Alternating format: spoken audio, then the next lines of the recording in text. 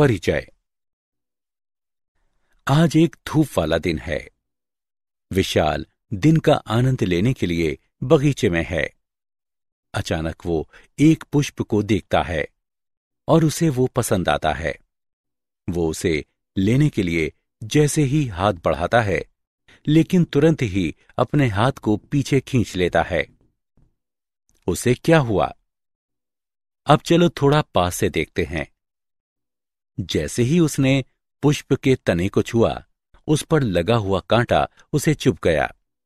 तथा संवेदक, जो कि त्वचा के नीचे स्थित होते हैं, उद्दीपन का पता लगाते हैं, तथा ये उद्दीपन केंद्रीय तंत्रिका तंत्र को ले जाया जाता है, तथा इसकी अनुक्रिया में कंकाल पेशियाँ सिकुड़ती जाती हैं, तथा वो अपना हाथ हटा लेता है। इसलिए इस मॉड्यूल में हम तंत्रकीय नियंत्रण एवं समन्वय के बारे में जानेंगे।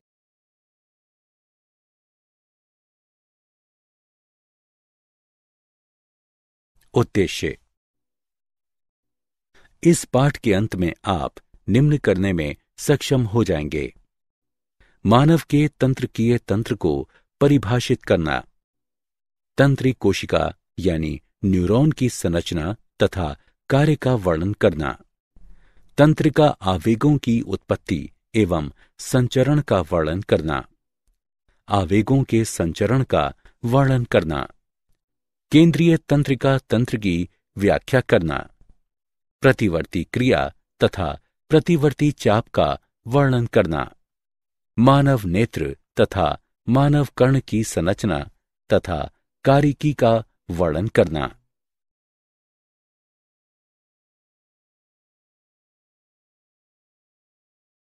तंत्रकीय तंत्र तंत्रकीय तंत्र शरीर की क्रियाओं को नियंत्रित एवं समन्वयित करता है।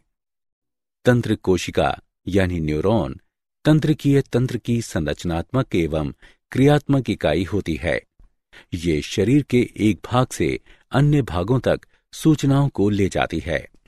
आ कशेरुकियों में, कशेरुकियों की तुलना में तंत्रिका तंत्र कम विकसित होता है। तथा इनमें कुछ तंत्री कोशिकाएँ, यानी न्यूरॉन्स ही पाई जाती हैं।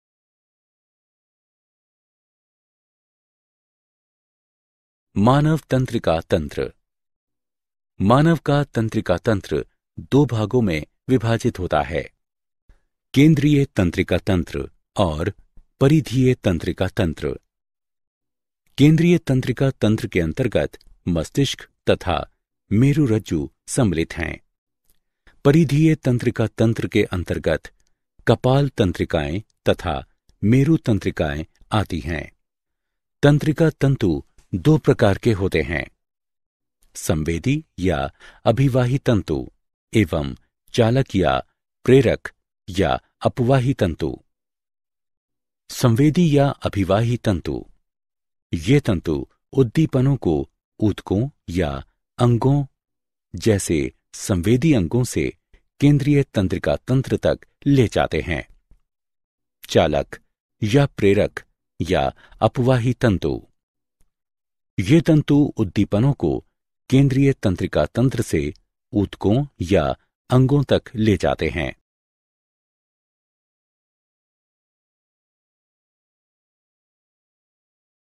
परिधीय तंत्रिका तंत्र। परिधीय तंत्रिका तंत्र दो भागों में विभाजित होता है। कायिक तंत्रिका तंत्र तथा स्वायत्त तंत्रिका तंत्र। कायिक तंत्रिका तंत्र उद्दीपनों को केंद्रीय तंत्रिका तंत्र से ऐच्छिक अंगों तक ले जाता है, जबकि स्वायत्त तंत्रिका तंत्र उद्दीपनों को तंत्रिका तंत्र से अनैच्छिक अंगों जैसे हृदय पेशियों तक ले जाता है। स्वायत्त तंत्रिका तंत्र पुनः दो भागों, यानी अनुकंपी तंत्रिका तंत्र और परानुकंपी तंत्रिका तंत्र में वर्गीकृत किया गया है। परानुकंपी भाग कुछ कार्यों जैसे हृदय दर कम करना, प्यूपिल का निर्माण करना आदि को नियंत्रित करता है, जबकि अनुकंपी भाग इसके विपरीत प्रभाव जैसे हृदय दर बढ़ाना आदि दर्शाता है।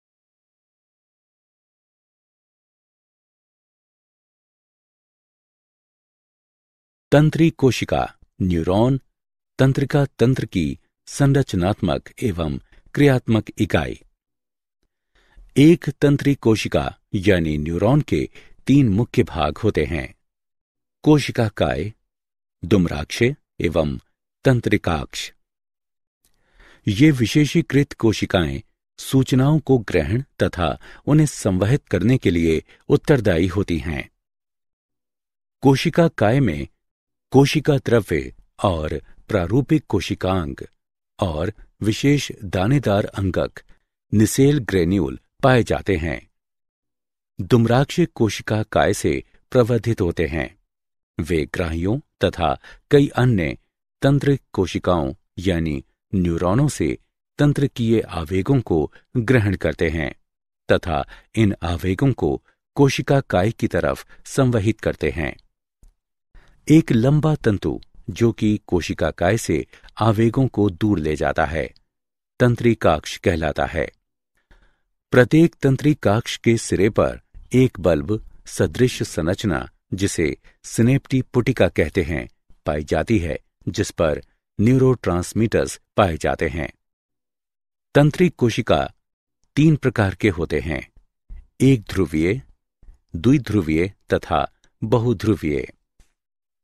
एक ध्रुवीय इनमें केवल एक ही तंत्रिकाक्ष उपस्थित होता है।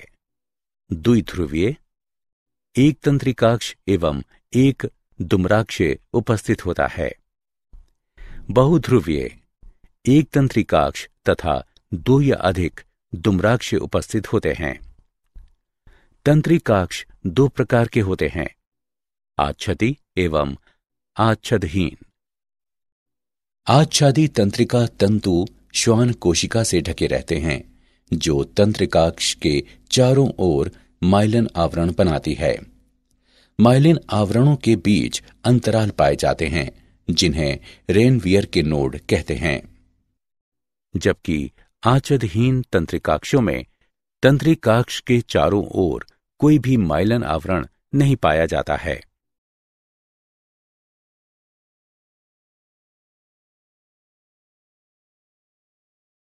तंत्रिका आवेगों की उत्पत्ति एवं संचरण।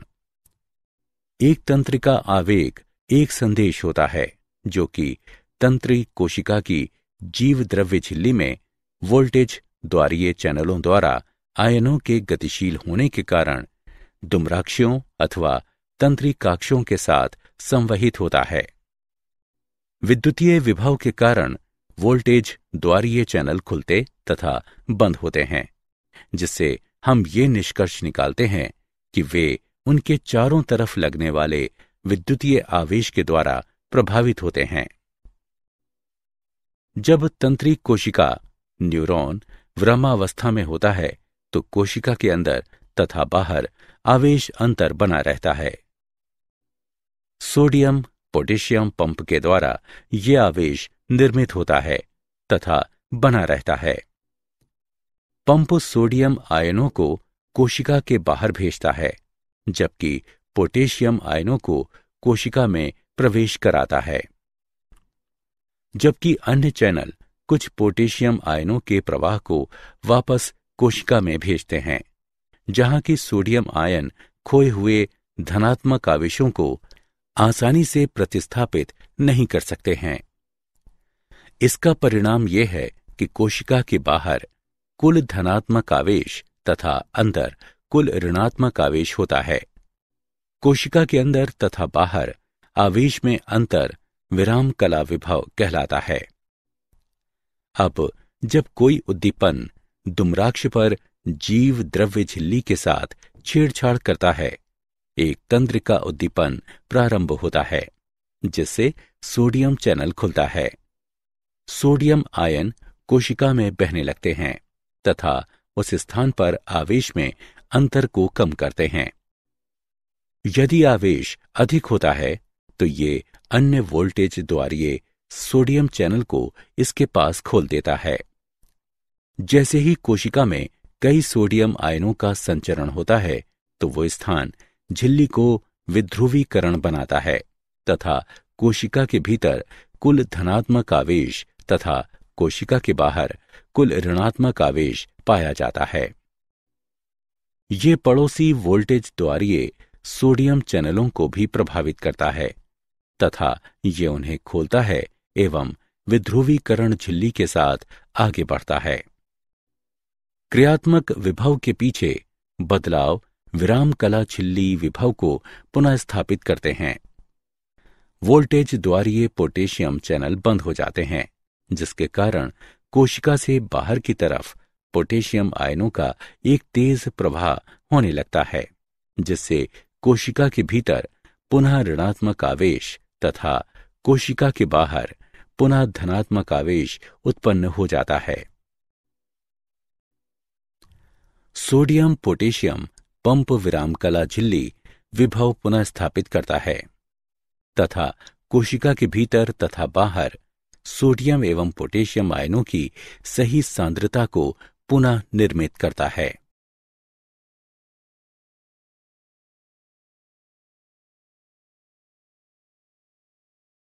आवेगों का संचरण। दो तंत्री कोशिकाओं यानी न्यूरॉनों के मध्य एक संकेत को संचारित करने के लिए एक वैद्युतीय उद्दीपन, एक स्नेप्स के ऊपर संवहित होना चाहिए। स्नेप्स एक संधि है, जिसके द्वारा एक उद्दीपन, एक तंत्रिकाक्ष सिरे से एक तंत्रिक कोशिका, यानी न्यूरॉन तक जाता है। ये पूर्व सिनेप्टिक तथा पश्च सिनेप्टिक तंत्रिक कोशिका द्वारा बना होता है। जैसे ही क्रियात्मक विभव नीचे तंत्रिकाक्ष की तरफ़ जाता है, तथा ये तंत्रिकाक्ष सिरे तक पहुँचता है, कैल्शियम चैनल खुल जाते हैं। जिससे कैल्शियम आयन तंत्री कोशिका में चले जाते हैं। इसके बाद तंत्री कोशिका यानी न्यूरॉन न्यूरोट्रांसमीटर्स का निर्माण करता है तथा पुटिकाओं में उन्हें संचित करता है।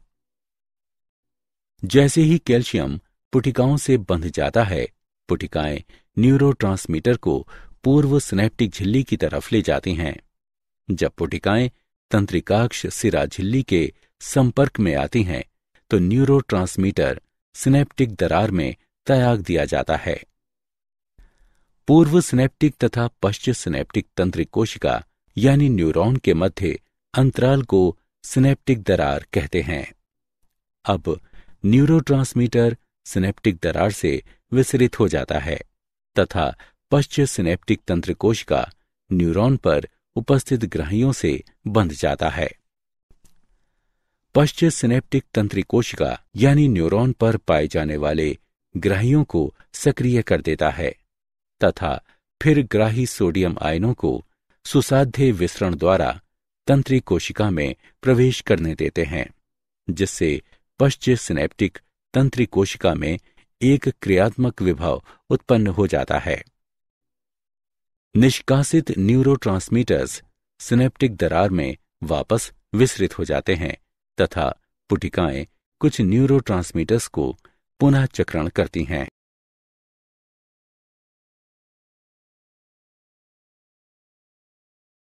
केंद्रीय तंत्रिका तंत्र। केंद्रीय तंत्रिका तंत्र तंत्रिका तंत्र का एक प्रसारण तंत्र है। ये कपालीय गुहा में स्थित होता है। इसमें संयोजी ऊतक झिल्लियों की तीन परत होती हैं। बाह्य परत ड्यूरामेटर आंतरिक परत, एरेक्नॉइड तथा आंतरिक परत पायामेटर होती है। ये परतें कपालीय मैनिंजेज कहलाती हैं। पायामेटर तथा एरिकनॉइड के मध्य के स्थान में मस्तिष्क मेरु द्रव्य भरा होता है। मानव मस्तिष्क को तीन भागों में विभाजित किया जा सकता है। अग्र मस्तिष्क मध्य मस्तिष्क एवं पश्चिम मस्तिष्क।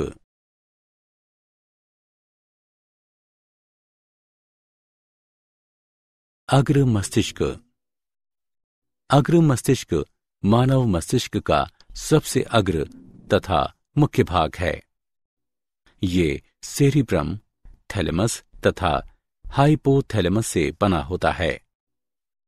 प्रमस्तिष्क बलकुट अग्र मस्तिष्क की पतली बाह्य परत बनाती है, जिसे प्रामस्तिष्क यानी सेरिब्रम कहते हैं, जिसे प्रामस्तिष्क दो भागों में बाई तथा दाईं तरफ़ विभक्त होता है, जिसे प्रमस्तिष्क गोलार्ध कहते हैं। प्रमस्तिष्क बलकुट प्रमस्तिष्क को ढकता है। प्रमस्तिष्क गोलार्ध तंत्रिका तंतुओं के एक मोटे बंडल, जो कि काप्स कैलोसम कहलाता है, इनके द्वारा जुड़े होते हैं। प्रमस्तिष्क बलकुट, मस्तिष्क के कुल भार का 80 प्रतिशत से अधिक होता है। ये सोचने, भाषा का प्रयोग करने आदि के लिए उत्तरदायी होता है। ये ऐच्छिक कार्यों का नियंत्रण तथा संवेदी सूचना की प्रक्रिया भी करता है। थैलेमस धूसर द्रव्य का एक बड़ा भार होता है। जो कि प्रमस्तिष्क बलकुट के नीचे स्थित होता है। थैलेमस में एक जोड़ी अंड की आकृति वाली संरचना पाई जाती है, जो कि सूचनाओं को संवेदी ग्राहियों से प्रमस्तिष्क बलकुट में मस्तिष्क के संसाधन अंगों तक प्रसारित करती है। थैलेमस के ठीक नीचे एक मटर के आकार वाली संरचना उपस्थित होती है, जिसे हाइपोथैलेमस कहते हैं। ये शरीर के अनेक मुख्य कार्यों जैसे भूख, प्यास, तरल सांद्रता, शरीर के ताप और जनन प्रक्रिया आदि को नियंत्रित करने में सहायक है। लिम्बिक तंत्र परस्पर जुड़ी हुई संरचनाओं का एक समूह है, जो कि एमिगडाला, हिप्पोकैम्पस, थैलेमस तथा हाइपोथैलेमस के भागों से मिलकर बना होता है।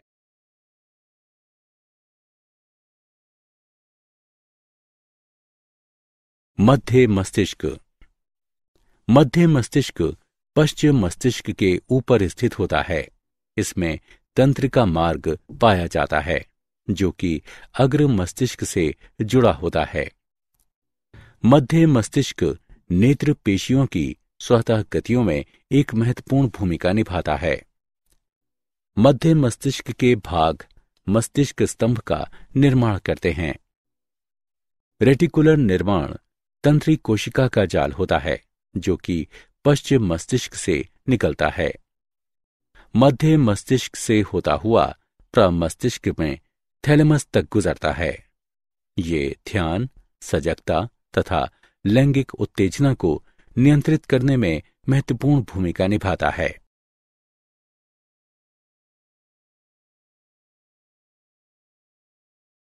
पश्चिम मस्तिष्क मस्तिष्क का सबसे निचला भाग पश्चिम मस्तिष्क कहलाता है।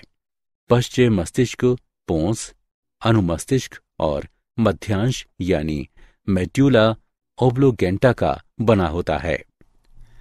मध्यांश तथा पोस में संवेदी तंत्री कोशिकाएँ यानी न्यूरॉन्स पाई जाती हैं, जो कि सूचनाओं को मेरु रज्जु से अग्र मस्तिष्क तक संवहित करते हैं। मध्यांश जीवन के दैनिक कार्यों जैसे हृदय स्पंदन तथा श्वसन को नियंत्रित करता है। पोन्स निद्रा तथा जागने की दशा को नियंत्रित करता है। मस्तिष्क स्तंभ मेरुरज्जु को मस्तिष्क के उच्च क्षेत्रों से जोड़ता है।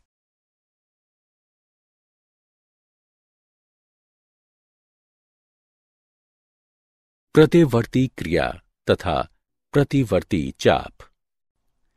प्रतिवर्ती क्रिया तंत्रिका तंत्र द्वारा एक उद्दीपन के प्रति एक त्वरित प्रतिक्रिया होती है। मानव में किसी गर्म वस्तु को छूने पर हाथ को झटके से हटा लेना प्रतिवर्ती क्रिया का एक उदाहरण है। जब घुटने के ठीक नीचे कंडरा पर आघात होने पर टांगों का सीधा होना इसका एक अन्य उदाहरण है। चलो, अब प्रतिवर्ती चाप का विस्तार से परीक्षण करते हैं। पहले, त्वचा के विशेषीकृत संवेदी तंतु दर्द वाले उद्दीपन का पता लगाते हैं, तथा इस सूचना को मेरुरज्जु में तंत्रिका कोशिकाओं को भेजते हैं। ये सूचना एकल संवेदी तंत्री कोशिका द्वारा ग्रहण की जाती है। संवेदी तंतु मेरुरज्जु तथा मेरुरज्जु के अंदर अंत तंत्रिका कोशिका, यानी न्यूरॉन के ऊपर स्नेप्स में प्रवेश करते हैं। ये अंतः तंत्री कोशिका, यानी न्यूरॉन चालक, न्यूरॉनों के ऊपर स्नेप्स को भेजते हैं, जिससे कंकालीय कोशिकाएँ नियंत्रित होती हैं। भुजा में सामने की तरफ़ स्थित लचीली कोशिकाएँ संकुचन के लिए निर्देशित करती हैं। जबकि भुजा में पीछे की तरफ़ स्थित बाह्य पेशियाँ शिथिलन के लिए निर्देशित करती हैं। चालक न्यूरॉनों के उत्तेजना तथा अन्य के अवरोधन द्वारा अंत तंत्री कोशिकाएँ पेशी जोड़े को नियंत्रित करते हैं।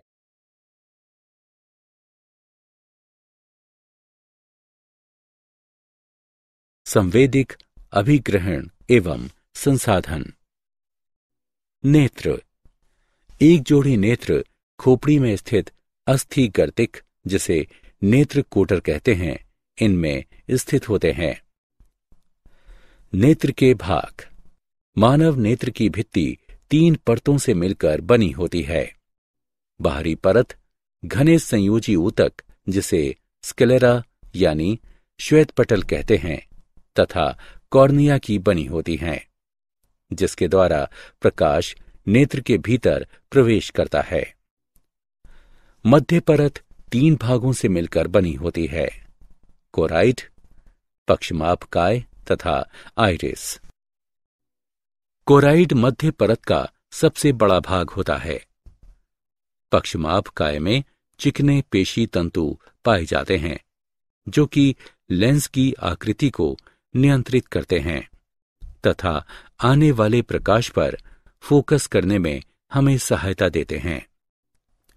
आयरिस नेत्र का रंगीन भाग है, जो कि कॉर्निया द्वारा दृश्य होता है। आयरिस में एक गहरा छिद्र पाया जाता है, जिसे प्यूपिल कहते हैं। ये प्रकाश को नेत्र में प्रवेश करने देता है।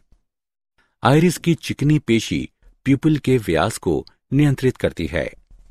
नेत्र की सबसे आंतरिक परत रेटिना कहलाती है। रेटिना पर पाए जाने वाले प्रकाश ग्राहियों के दो प्रकार, शलाका तथा शंकु है। शलाका कम प्रकाश के लिए संवेदी होते हैं, जबकि शंकु केवल तेज प्रकाश में कार्य करते हैं। रेटिना में गुच्छिका, कोशिका का तंत्रिकाक्ष नेत्र के पीछे एकत्रित होकर दृक तंत्रिका का निर्माण करते हैं। इस क्षेत्र में कोई भी प्रकाशग्राही उपस्थित नहीं होता है। ये प्रकाश के प्रति असंवेदनशील होता है, अतः इसे अंध बिंदु कहते हैं। रेटिना के मैक्यूला में एक छोटा गर्त स्थित होता है, जिसे फोविया कहते हैं। ये फोविया पर उपस्थित लगभग सभी शंकों को स्पष्ट दृष्टि प्रदान करता है। कॉर्निया और लेंस के बीच की दूरी को एक्वस चैम्बर यानी जलीय कोष्ठ कहते हैं, जिसमें पतला जलीय द्रव नेत्रोद होता है। लेंस और रेटिना के बीच के रिक्त स्थान को कचाब यानी द्रव कोष्ठ कहते हैं, और ये पारदर्शी द्रव कचाब द्रव कहलाता है।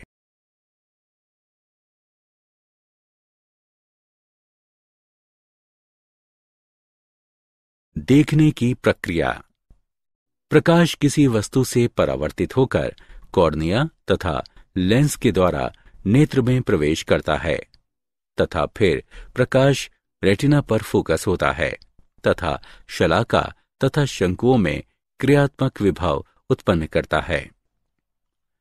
नेत्र में प्रकाश वर्णक पाए जाते हैं, जो कि ओप्सिन तथा रेटिनल से बने होते हैं। प्रकाश ओप्सिन की संरचना को परिवर्तित कर देता है। जिसके कारण झिल्ली की पारगम्यता भी परिवर्तित हो जाती है। इसके परिणाम स्वरूप विभवांतर प्रकाशग्राही कोशिका में संचरित होती है तथा एक संकेत की उत्पत्ति होती है, जो कि गुच्छिका कोशिकाओं में द्विध्रुवीय कोशिकाओं द्वारा सक्रिय कोशिका विभव उत्पन्न करता है। इन सक्रिय विभव के आवेगों को दृक तंत्रिका द्वारा मस्तिष्क के दृष्टि वलकुट क्षेत्र में भेजा जाता है।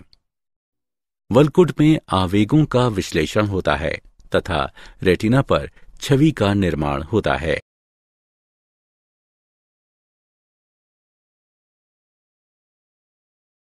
कर्ण। मानव कर्ण एक विशिष्ट अंग है।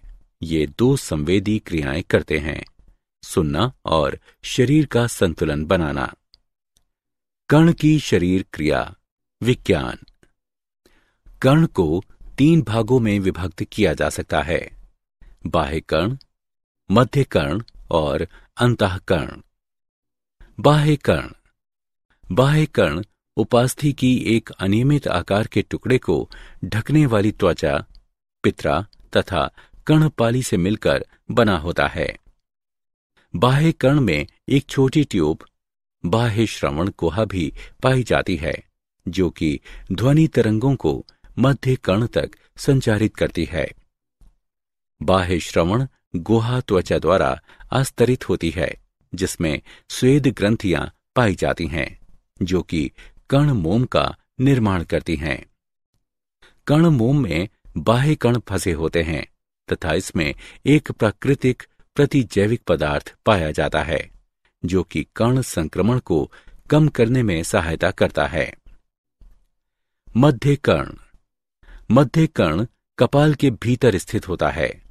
कर्ण कर्णपटह झिल्ली, मध्य श्रवण गुहा को बाह्य श्रवण गुहा से भिन्न करती है। मध्य कर्ण तीन अस्थिकाओं से बना होता है, जिन्हें मेलियस, इंकस और स्टेपीस कहते हैं।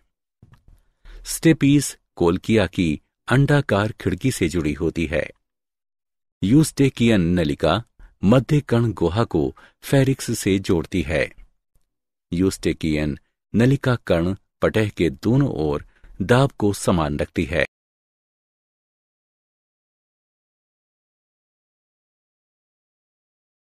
कर्ण की शरीर क्रिया, विज्ञान, अंतकरण। द्रव से भरा अंतकरण लेब्रिथ कहलाता है, जो कि अस्थिल और झिलीनुमा लेब्रिथ से बना होता है। अस्थिल लेब्रिथ वाहिकाओं की एक श्रृंखला होती है।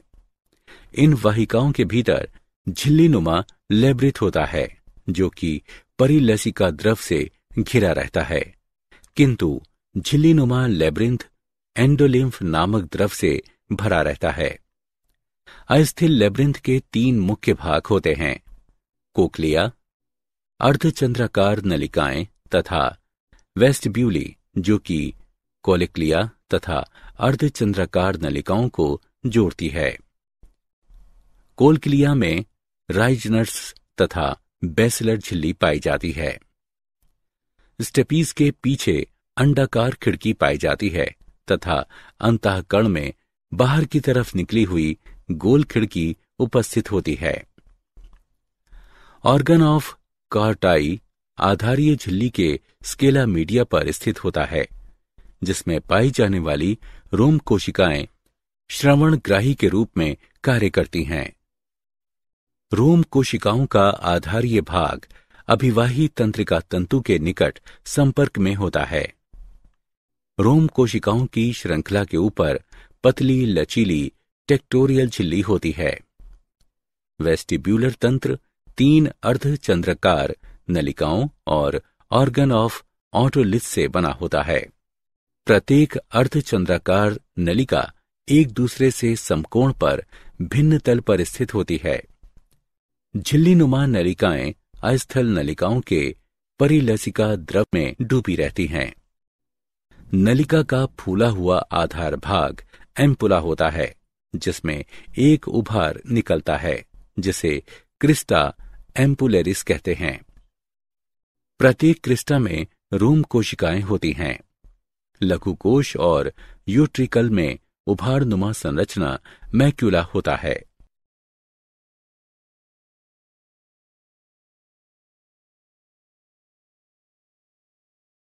श्रवण की क्रिया। ध्वनि तरंगे बाह्य कण द्वारा प्रवेश करती हैं तथा कण पटे तक पहुँचती हैं।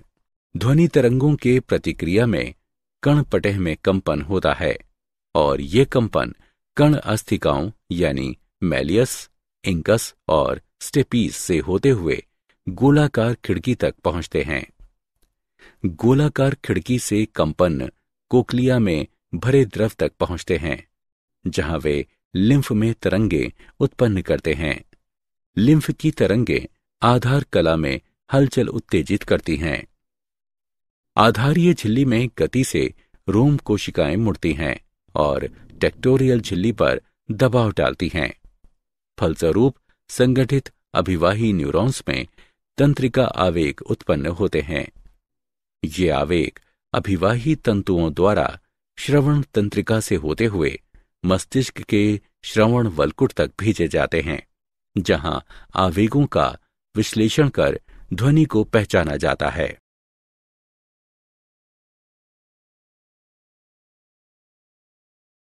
क्या आप जानते हैं? मेलियस, इंकस तथा स्टेपीस मानव शरीर की सबसे छोटी अस्थियाँ होती हैं, तथा जन्म के समय ही ये पूर्ण आकार की होती हैं।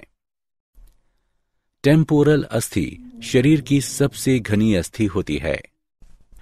मानव नेत्र प्रत्येक घंटे में छत्तीस हज़ार बिट्स सूचनाओं की प्रक्रिया कर सकते हैं।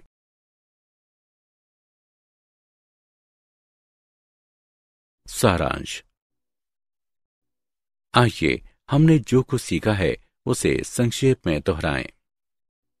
तंत्रिका तंत्र, शरीर की क्रियाओं का नियंत्रण एवं समन्वयन करता है। मानव तंत्रिका तंत्र, दो भागों, केंद्रीय तथा परिधीय तंत्रिका तंत्र से मिलकर बना होता है। केंद्रीय तंत्रिका तंत्र को मस्तिष्क तथा मेरुरज्जु में विभाजित किया जा सकता है। जबकि परिधीय तंत्रिका तंत्र को कायिक तंत्रिका तंत्र तथा स्वायत्त तंत्रिका तंत्र में विभाजित किया जा सकता है। तंत्रिक कोशिका यानी न्यूरॉन के मुख्य भाग तंत्रिका काय, दुम्राक्ष तथा तंत्रिकाक्ष हैं। तंत्रिका आवेग एक संदेश होता है, जो कि तंत्रिक कोशिका के दुम्राक्षों एवं तंत्रिकाक्षों के साथ संचरण करता है। दो तंत्री कोशिकाओं के मध्य एक संदेश के संचरण के लिए सिनेप्स के ऊपर एक वैद्युतीय आवेग का संचरण अवश्य होना चाहिए। मानव मस्तिष्क को अग्र मस्तिष्क, मध्य मस्तिष्क एवं पश्चिम मस्तिष्क में विभाजित किया जा सकता है।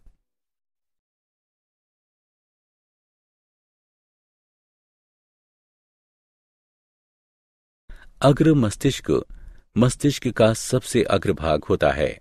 ये सेरिब्रम, थैलेमस तथा हाइपोथैलेमस से बना होता है।